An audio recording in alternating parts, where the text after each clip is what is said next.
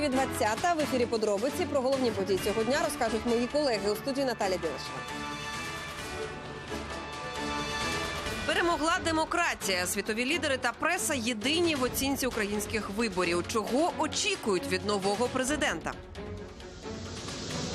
Телефонний терор у Харкові шукали вибухівку на вокзалі, заводах, школах і торговельних центрах. Що знайшли? На Шрі-Ланці новий вибух, де цього разу і хто відповідальний за три сотні убитих на Великдень. Порядок проти клімату. Кількість затриманих у Лондоні перевалила за тисячу. Чому поліція стала діяти жорсткіше? Майже 100% протоколів опрацювала е, ЦВК на цю годину. Картин- Картина залишається незмінною і з великим відривом у другому турі виборів президента перемагає Володимир Зеленський. Останні дані готовий назвати Даніл Снісер. Він зранку чергує у центр виборчком і зараз з нами на прямому зв'язку. Даніле, вітаю тобі слово.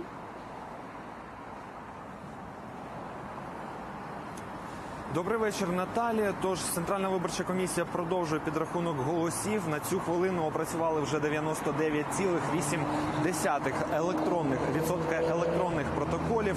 Жодної інтриги немає. Володимир Зеленський перемагає у більшості областей з загальним результатом 73,22% голосів. Він має Петро Порошенко переміг лише у Львівській області. Також глава держави має найвищий результат на за результатами опрацьованих протоколів на єдиному закордонному виборчому окрузі. Його загальний показник 24,5% голосів.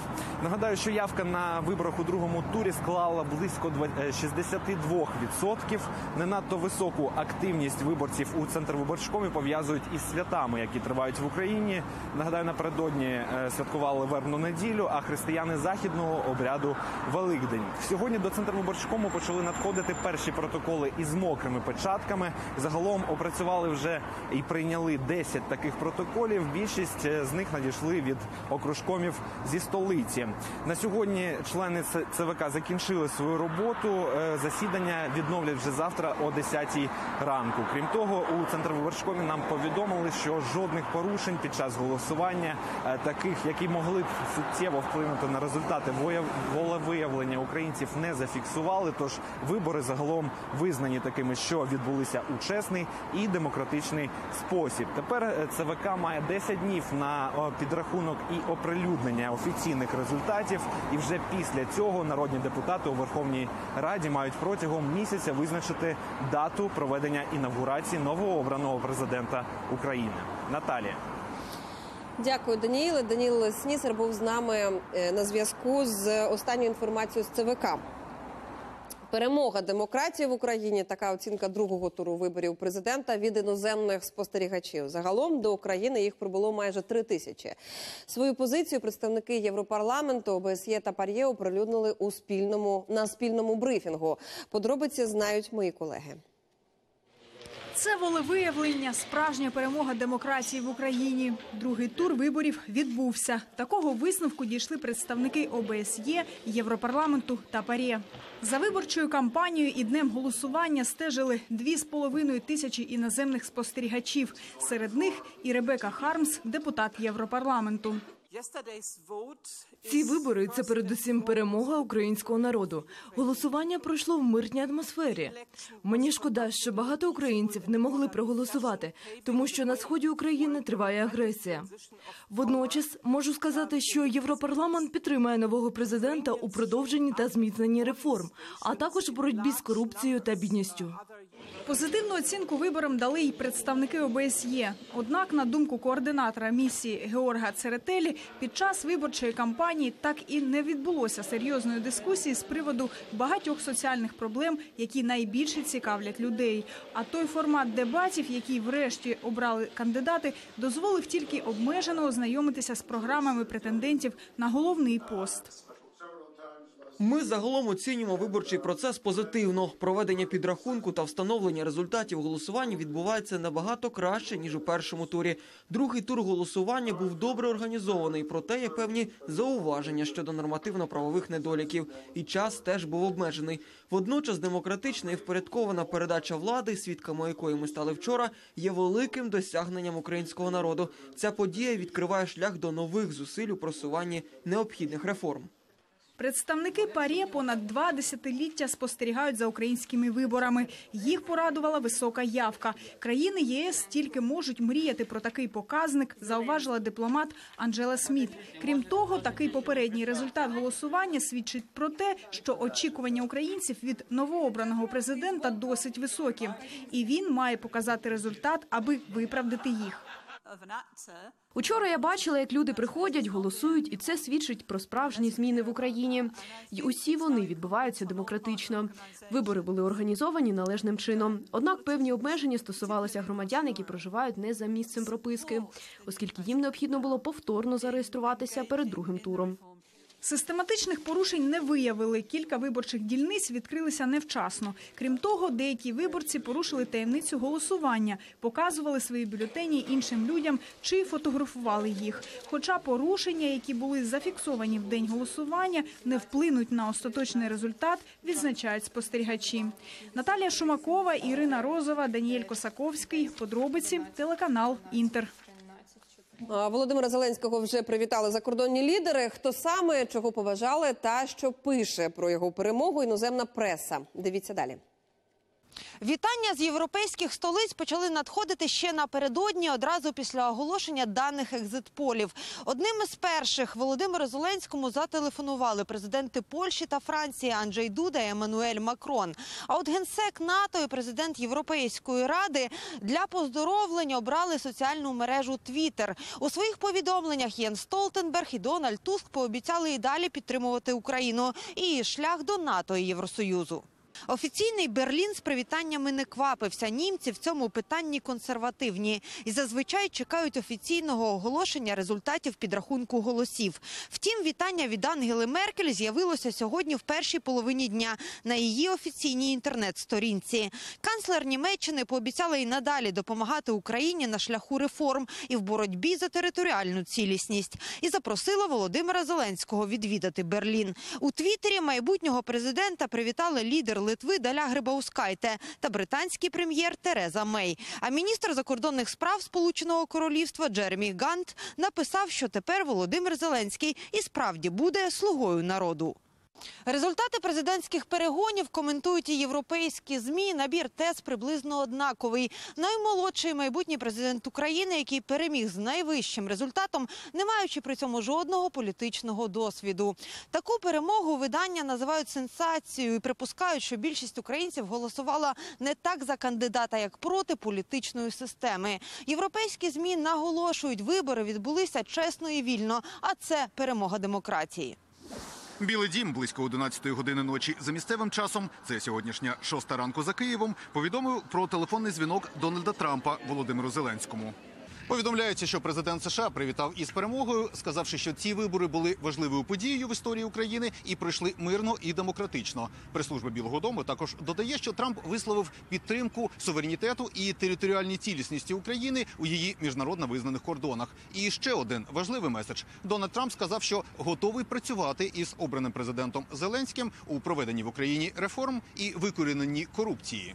Американська преса в сьогоднішніх публікаціях здебільшого шукає причини поразки Петра Порошенка і перемоги Володимира Зеленського. Ось приміром, що пише Нью-Йорк Таймс. Після п'яти років виснажливої війни з російськими ставлениками на сході України виборці, схоже, дали сигнал, що їх більше бентежить внутрішня загроза корупції та бідності, ігноруючи попередження пана Порошенка, що мовляв, голосувати за коміка не смішно і може призвести до болючих наслідків. Авторитетна The Washington Post цікавиться, як новий президент планує вести переговори з Кремлем. Зеленський заявив, що підтримуватиме прозахідний курс України і пообіцяв, що не віддасть жодних територій в переговорах з Путіним. Але він демонструє більшу гнучкість ніж Порошенко в потенційних перемовинах про війну на сході України, викликаючи і оптимізм, і побоювання, що Кремль може його переграти. А Financial Times полемізує, як прихід Зеленського позначиться на економіці і чи зважиться він на дострокові вибори в Раду. Важливе питання, чи вимагатиме Зеленський проведення нових виборів, адже парламентські призначені на жовтень. Але місцеві змі та деякі інвестори припускають, що новоспечений президент розпустить парламент, щоб вигідно скористатися поточним позитивним моментом. Але це мало ймовірно з часових і практичних міркувань. Отже, схоже, що українська тема і українські вибори ще довго будуть на шпальтах американських і європейських газет. З Вашингтона та Берліна Дмитро Онопченко і Тетяна Логунова, американське та німецьке бюро телеканалу Інтер. Особливість другого туру виборів порівняно невелика кількість порушень. Так звітують спостерігачі у регіонах. Як там відбувалося голосування? Дивіться у нашому матеріалі. В Ужгороді з підрахунком голосів та прийманням протоколів окружні комісії впоралися ще до ранку. Трошки легше, бо ну лише два кандидата було в другому турі, так як передбачає цього закон. Тому дільничним комісіям було легше їх е, рахувати. В Івано-Франківську протоколи опрацювали ближче до 11-ї години. До ОВК члени дільничих комісій почали з'їжджатися о 10-й вечора, допоки одні здають, інші терпляче очікують своєї черги. Душно, важко. Це повинно бути скоресенько зроблено, а не мучити скільки людей. В ОВК виправдовуються, поспішають як можуть. На одну дільницю витрачають не більше двох-трьох хвилин. Проте майже кожен п'ятий документ повертали на доопрацювання.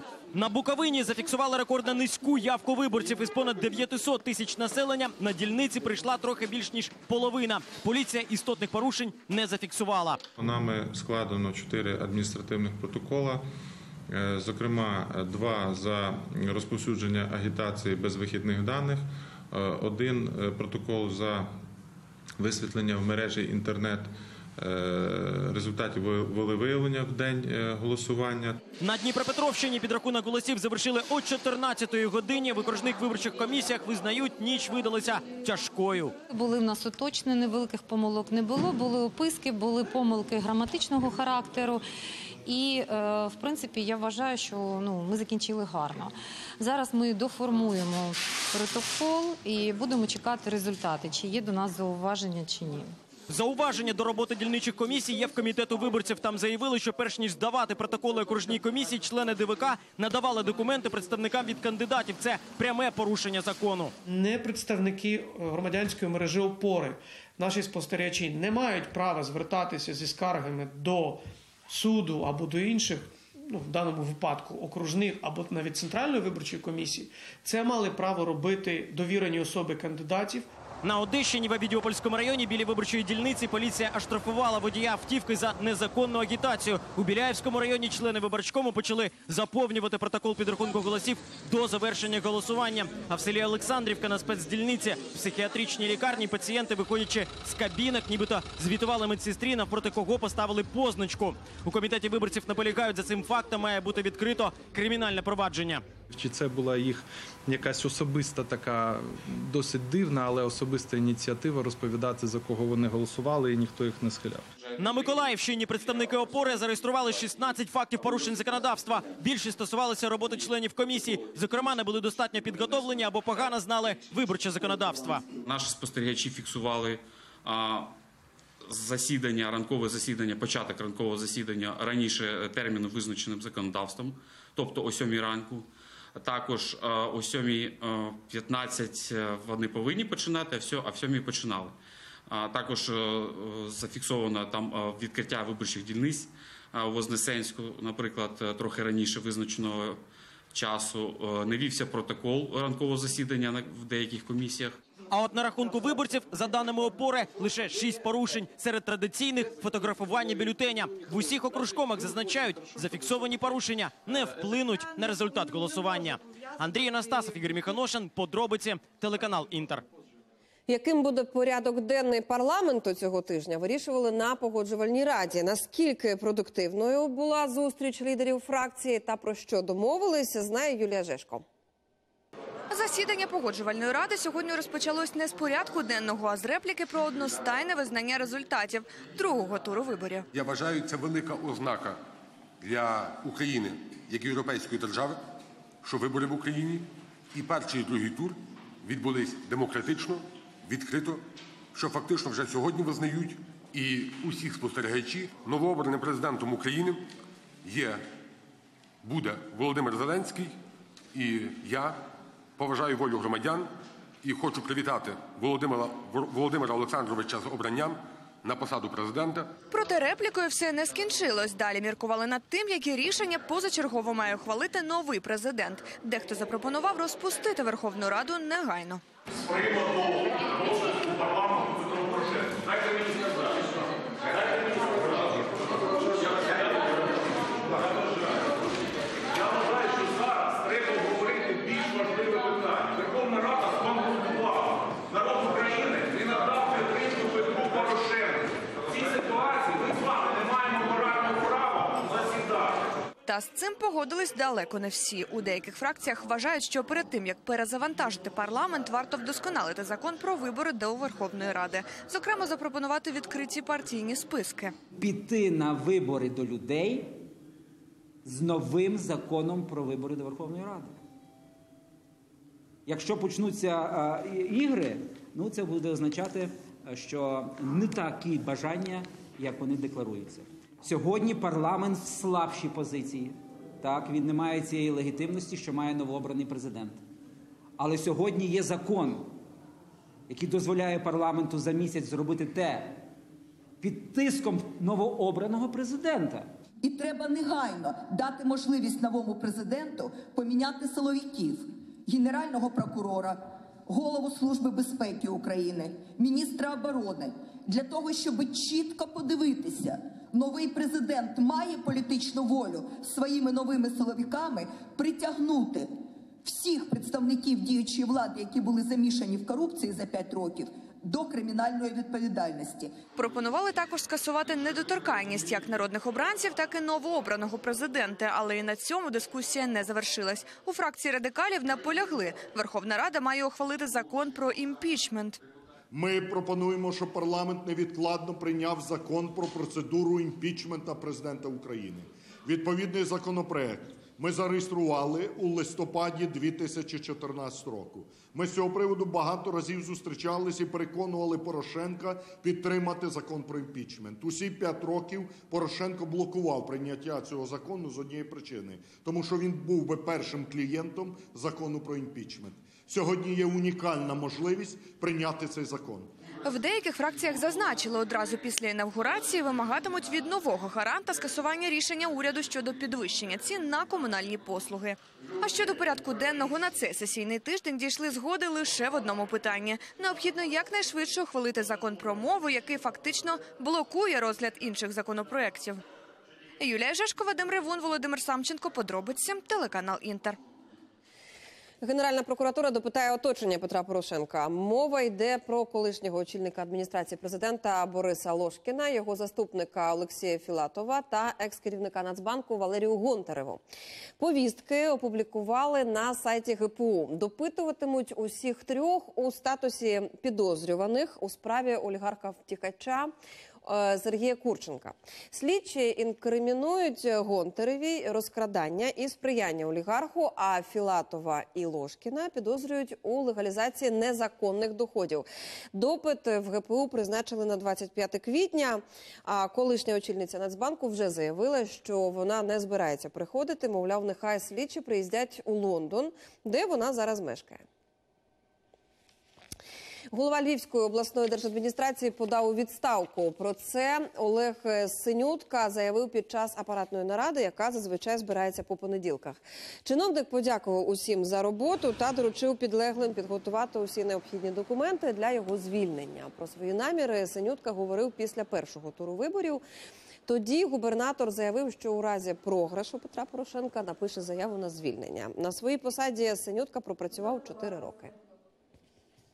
Я залишаю посаду голови обласної державної адміністрації, але я залишаюся з Львівщиною, я залишаюся зі Львовом, я залишаюся з нашими людьми, чию підтримку ми маємо сьогодні, і в цьому ми переконалися під час виборів, які проходили вчора.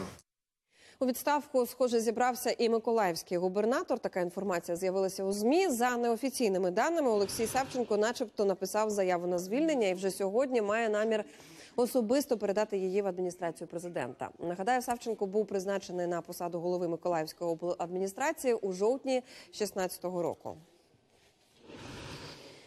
Президент має повноваження скасувати рішення уряду та впливати на розмір тарифів. Так вважає лідер радикальної партії Олег Ляшко. Нардеп переконаний, що першим кроком новообраного президента має бути перегляд угоди з МВФ. За словами Ляшка, це дозволить знизити ціну на газ для населення. Також він додав, що жодних підстав для підвищення тарифів на блакитне паливо з 1 травня до 10 тисяч гривень за тисячу кубів немає. Так вважає Ляшко. Тарифи, вартість газу, вартість комуналки піднімається на підставі меморандуму з Міжнародним валютним фондом, який підписаний президентом України, нов, е, попереднім Порошенком. Новообраний президент України має право і зобов'язаний вимагати перегляду меморандуму, зокрема в частині зниження вартості газу і зниження вартості тарифів. Я звертаюся до новообраного президента Зеленського одразу після на- інаугурації своїм першим указом скасувати рішення уряду про підвищення вартості газу, яка сьогодні не ринкова вартість, і скасувати рішення уряду про підвищення тарифів. Український уряд ігнорує законодавство і не виконує рішення конституційного суду. Про це сьогодні заявили на позачерговому засіданні комітету парламенту із питань соцполітики. Там обговорювали повернення пільг е, чорнобильцям. Депутати закликають терміново повернути виплати, а попереднє рішення про їх скасування називають незаконним. Конституционный суд поддержал наше решение и признано, что коалиция в парламенте, правительство приняли неконституционное решение, отобрав у героев-чернобыльцев пакет льгот и пакет социальной компенсации. Они наплевали на то, что Конституция Украины есть, на то, что есть решение судов, на то, что есть законы Украины. Они лишают права сегодня чернобыльцев на их защиту, на их гарантии со стороны государства, на то, что мы просто все обязаны сделать. Ми будемо сьогодні підготуємо і будемо сьогодні направляти таке звернення двом сьогодні ключовим політикам в нашій державі. А вони нехай несуть відповідальність і з першого дня показують, що вони за простих людей. Зробіть щонебудь для тих людей, які заплатили своїм життям, своїм здоров'ям за те, щоб інші українці і весь інший світ міг спокійно пережити чи як-небудь пережити цю страшну трагедію. На Донбасі сьогодні загинув український військовий. Ще одного було поранено. Бойовики відкривали вогонь у бік наших позицій 11 разів, двічі із забороненої зброї. Армійцям довелося відповідати на обстріли. Більше про ситуацію на передовій розкаже Ірина Баглай.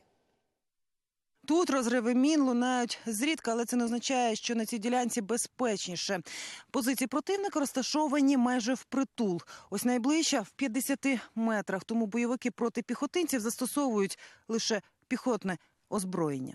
Така тактика ведення бою противника пов'язана зовсім не з мінськими домовленостями та обмеженням калібру. Можуть і себе задіти свої, свої позиції. Бойовики відкрито атакувати піхотинців бояться, тож обирають повзучу атаку, не виходячи з окопу. Ночью они стреляют, хоть и перемирие, пытаются укрепиться. Днем не даем им вот окоп делать, чтобы двигаться можно было по нему. И ближе и ближе делать. Ну, пытаются делать. Мы не даем.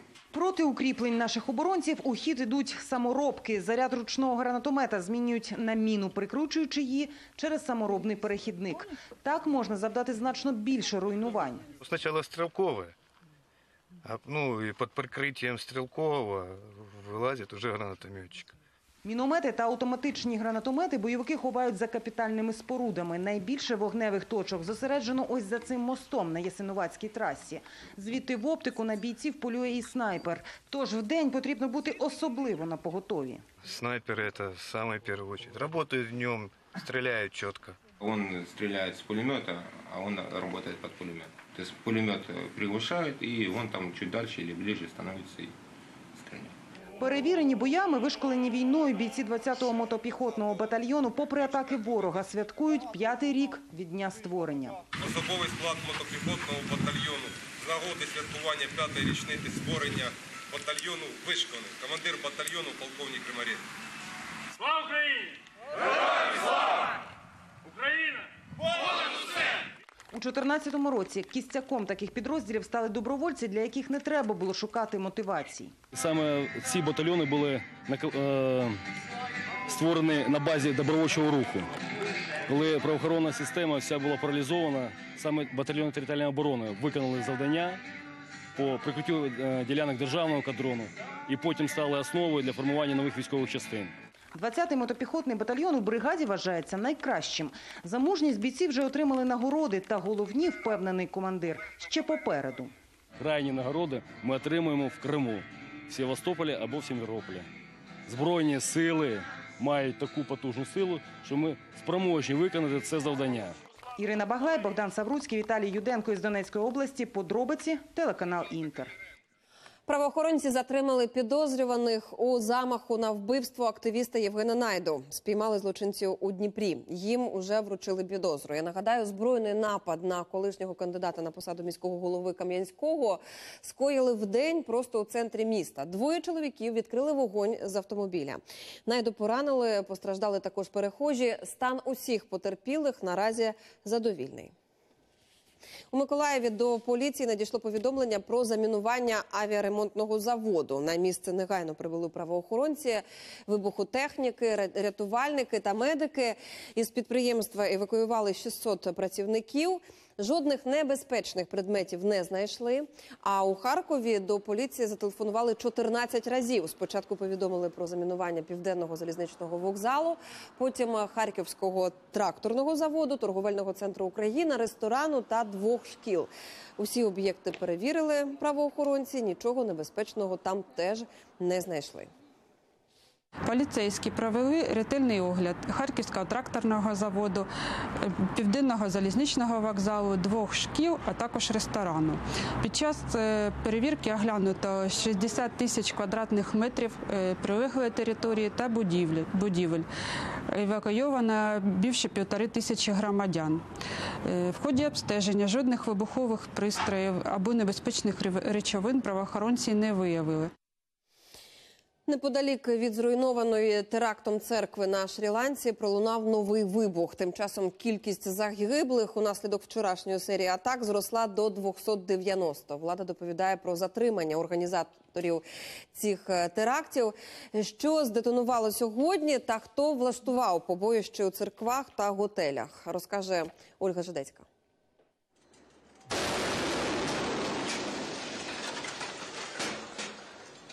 Новий вибух сколихнув столицю Шрі-Ланки Коломбо. Поряд із церквою, де напередодні стався теракт, у повітря злетів автофургон. Сапери намагалися знешкодити закладену в нього бомбу. Окрім того, на автобусній зупинці правоохоронці знайшли 87 вибухонебезпечних детонаторів. Фахівці продовжують обшуки та обстежують місця жахливої великодньої трагедії. Зранку перед міськими лікарнями натовп занепокоєних людей. Серед заплаканих відвідувачів десятки тих, хто досі не знає про долю своїх рідних. Розповіді дуже схожі. Лихої години напередодні вони пішли на великодню службу. Моя колега пішла до церкви напередодні. Ми телефонували їй, дізнавшись про вибухи, але ніхто не відповів. Ми досі не знаємо, що з нею. Тому зранку одразу прийшли сюди. Лікарні і морги столиці та ще двох міст, де сталися атаки, переповнені. Цілу ніч дані про жертв оновлювалися чи не щогодини.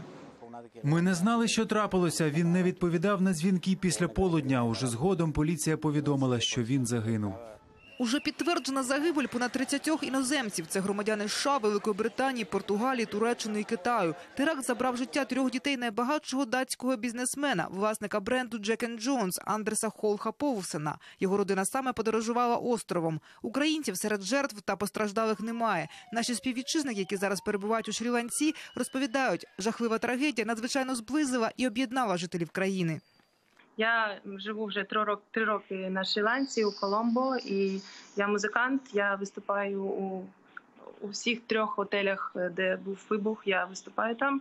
І за приблизно 7 годин до вибуху я була знаходилася в цьому готелі, тому для мене, звичайно, це великий шок, як для усіх. Атмосфера, звичайно, дуже схвильована, але люди багато зусиль покладають на те, щоб е, заспокоїти себе, заспокоїти оточуючих. Намагаються поширити ідею того, що е, ми всі єдині, тому що е, ця країна вже була в стані війни на протязі 30 е, 30 років, і вони дуже не хочуть, щоб якісь провокації не потрібні були, і вони дуже ем, пропагують ідею об'єднання усіх релігій.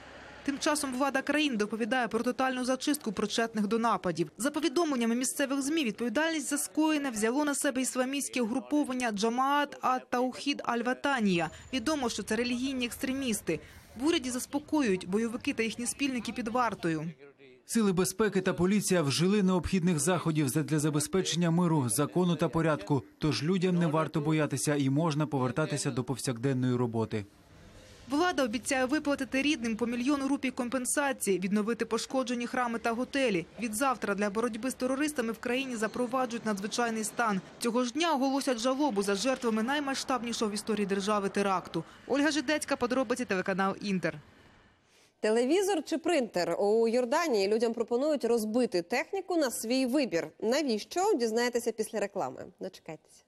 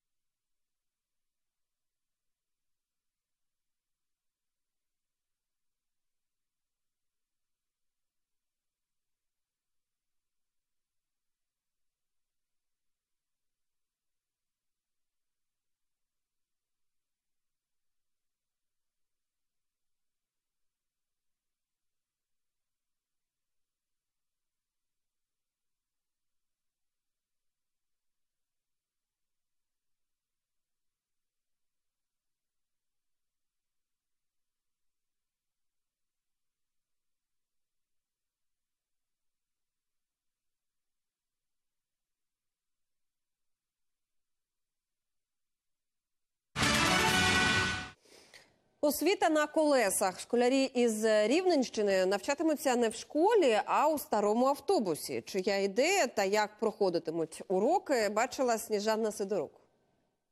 Ми з вами їдемо далі, подорожуємо в Crazy Bus, бусі в зоопарк. Ви, вам подобається зоопарку? Хто з вас був в зоопарку? Я. Я два рази. Першими незвичний клас оцінили першачки. Діти не за партами, а на зручних диванах. Тут же у клітці живий наочний матеріал – кролик Лорі. А у колишній кабіні водія – куток читача. Тут художні книги та інший навчальний матеріал.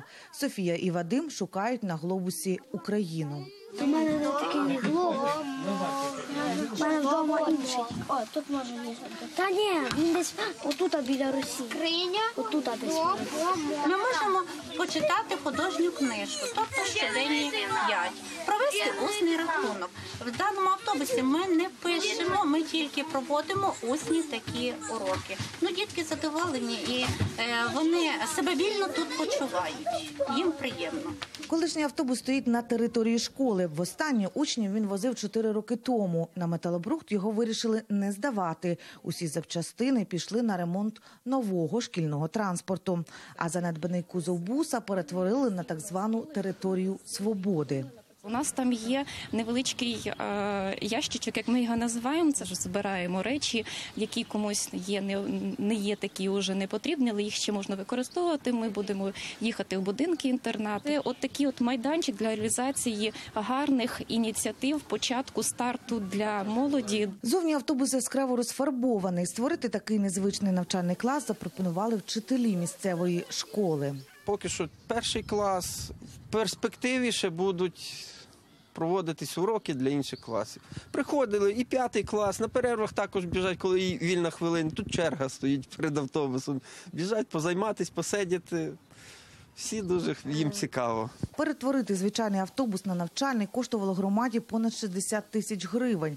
Але витрати виправдані вважають вчителі, адже таким чином хочуть привернути увагу до нових форматів проведення уроків. Ми тут що робимо завжди? Е, займаємося А чим займаємося?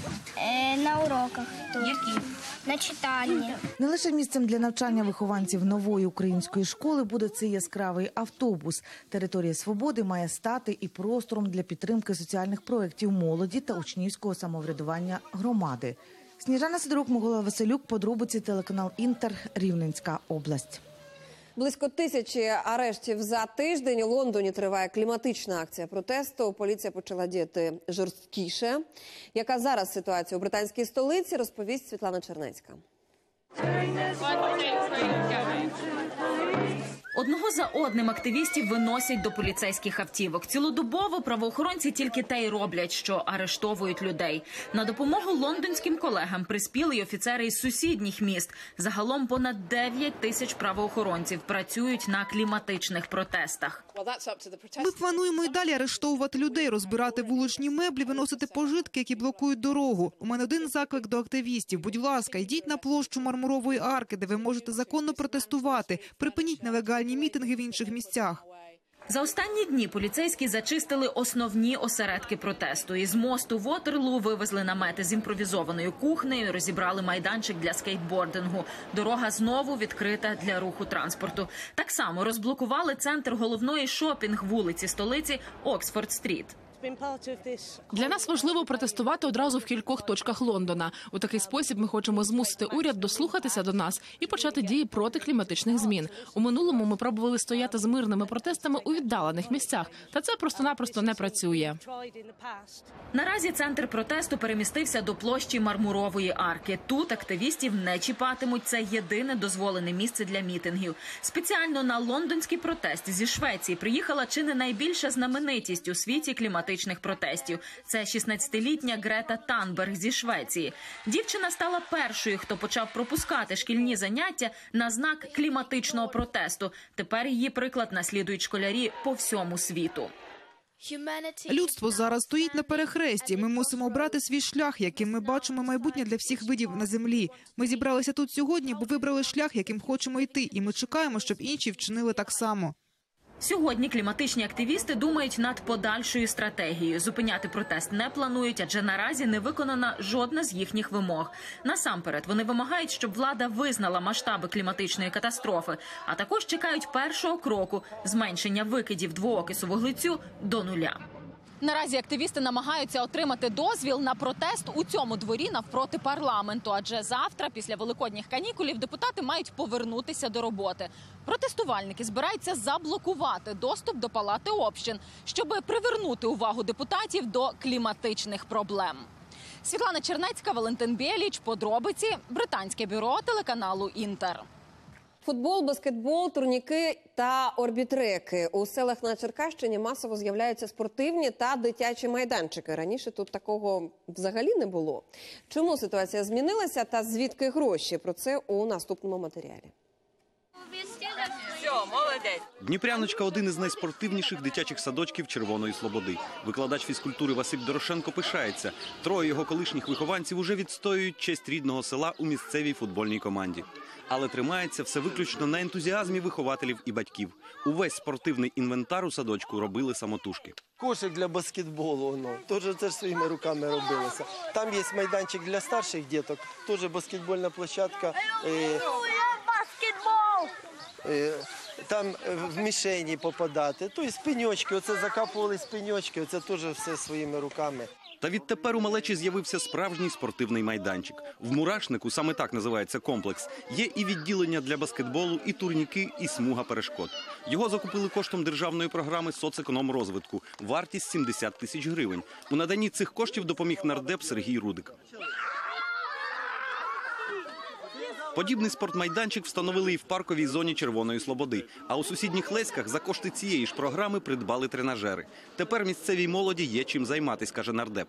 Одному з перших йому доручають випробувати орбітрек. Моя дружина мені розповідала, що вона е, після народження, коли повертала собі форму, по 45 хвилин в день, 4 рази в тиждень займалася на орбітреку.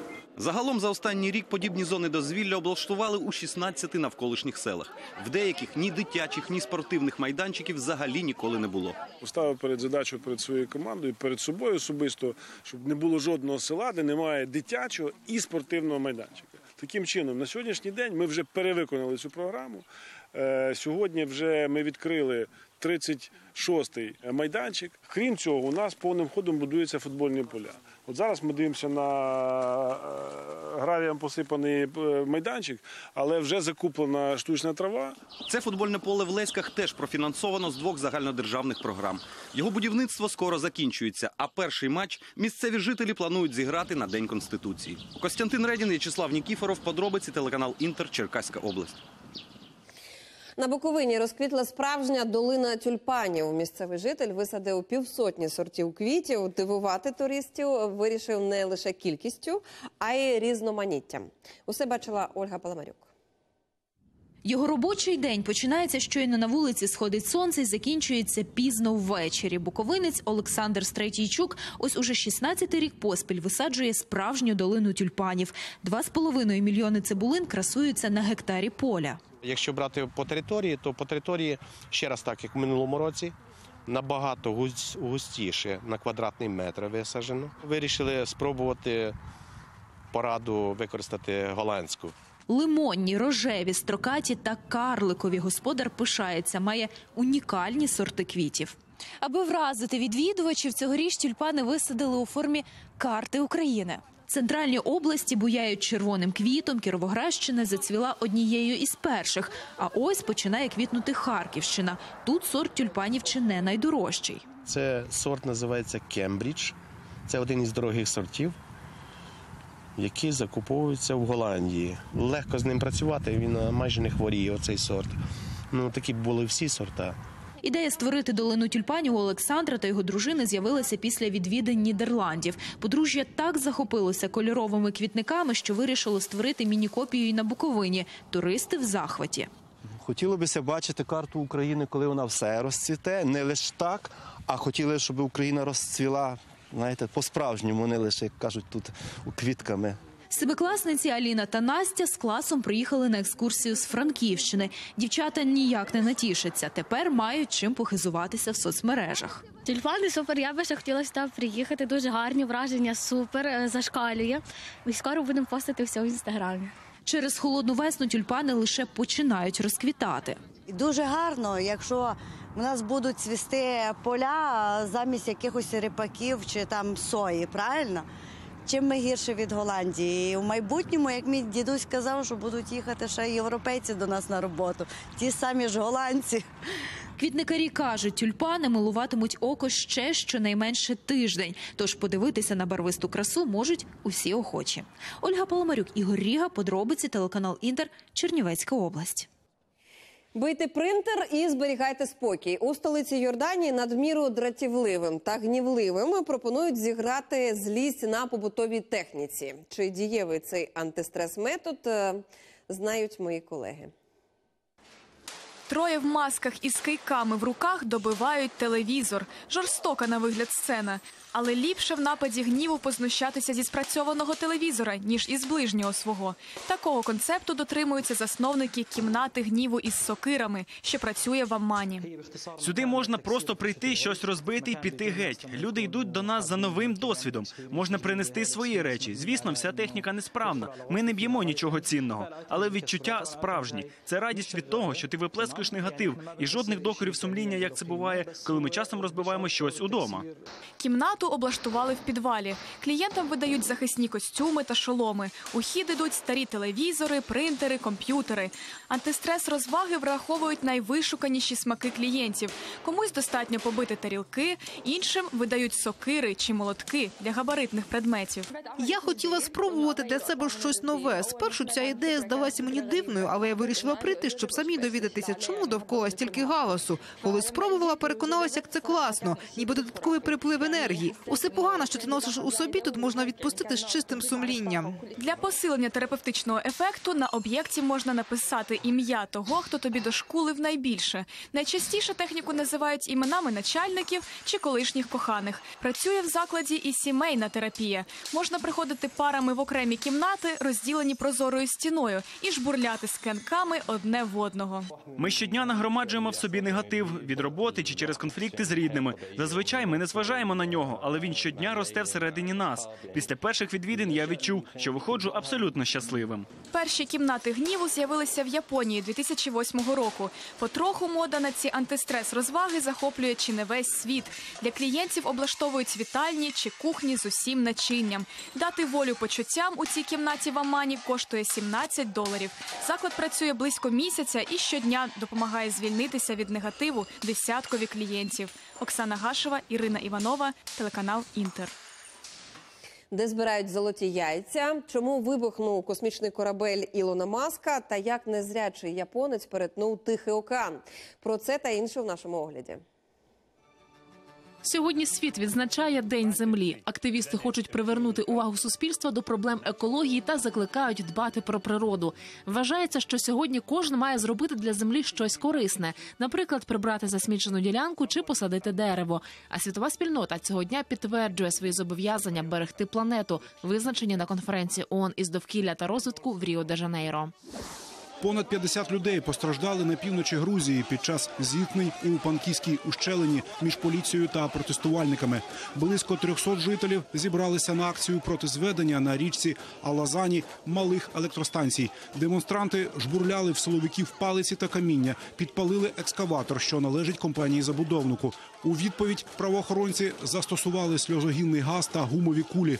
Після переговорів із протестувальниками міністр внутрішніх справ Грузії відкликав спецпризначенців та заявив, що будівництво ГЕС розпочнуть лише після згоди 90% населення.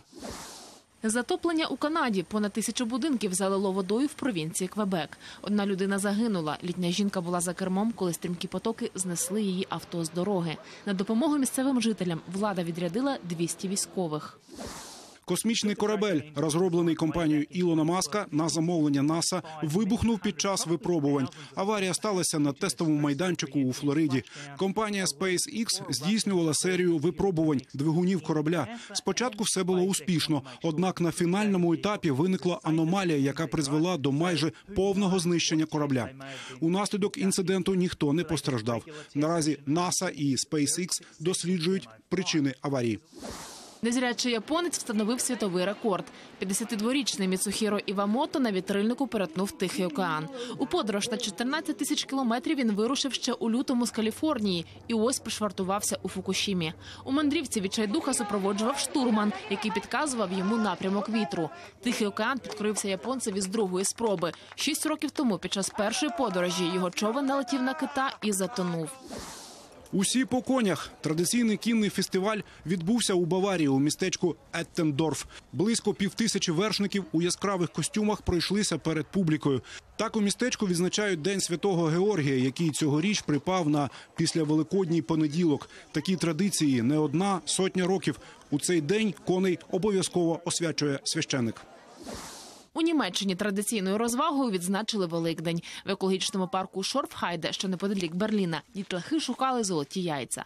За легендою, їх тут щороку ховає пасхальний заєць. Загалом яєць 30. Ті відвідувачі, кому вдалося знайти великодні гостинці, одержали подарунки: солодощі, іграшки чи квитки на концерти. Задоволені і маленькі, і дорослі, адже це чудова нагода весело провести час на природі. Це всі новини на сьогодні. Приємного вечора. Побачимось. thank you